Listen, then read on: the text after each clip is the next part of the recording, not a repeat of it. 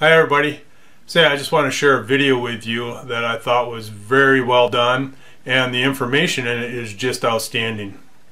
You know, in fact, the, the information that's in this video is uh, the things that I kept on asking uh, people various questions about because they need to think about this uh, if they're out cleaning and disinfecting homes or offices.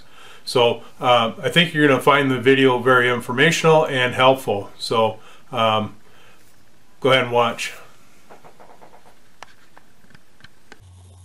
Hello, everyone. Hope this finds all of you safe and healthy.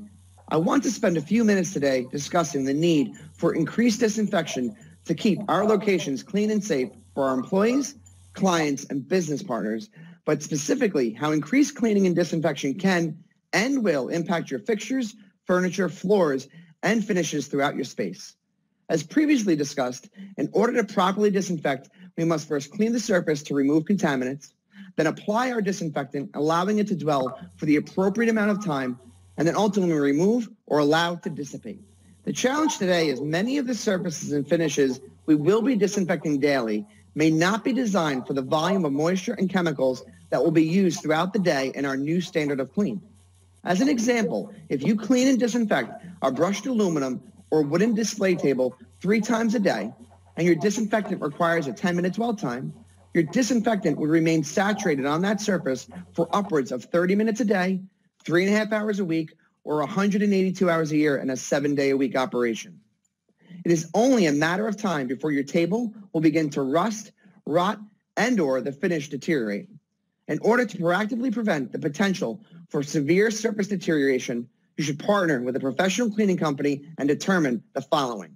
One, Review all the manufacturer's specifications for both your hard and soft finishes to determine any chemical sensitivities or chemicals to be avoided. Two, review the technical and safety data sheets for both your general cleaning agent as well as your disinfectant. Look at the information that will be considered impactful to both environmental surfaces as well as human surfaces like eyes and skin. Three, identify if you have compatibility with all of your surfaces or if there's a potential to cause damage. Have you identified cleaners and disinfectants with short dwell time to limit exposure? Will you need a variety of cleaners and disinfectants, or will you only need two?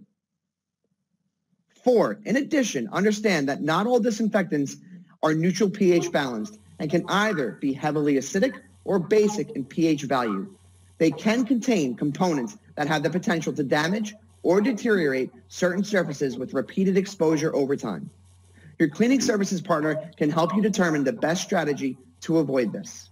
It is imperative that everyone begins to consider these potential challenges as we reopen our locations.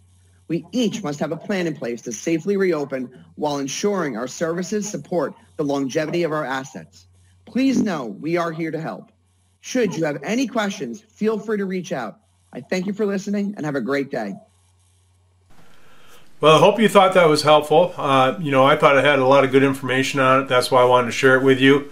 And uh, so when you're out there doing your cleaning and disinfecting, keep these things in mind because you can do damages to surface, you know, surfaces depending on the type of disinfectant you're using, the dwell time. Um, so a lot of things to think about, but just make sure that you check all your boxes. Make sure you're doing things safe. Uh, you don't want to have a claim uh, that you've damaged some surfaces uh, in a home, and, home and, or office.